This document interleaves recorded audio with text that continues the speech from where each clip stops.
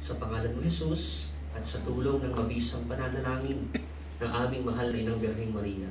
Sa ngalan ng Ama, ng Anak at ng Espiritu Santo. Amen. Atin pong purihin ang Panginoon.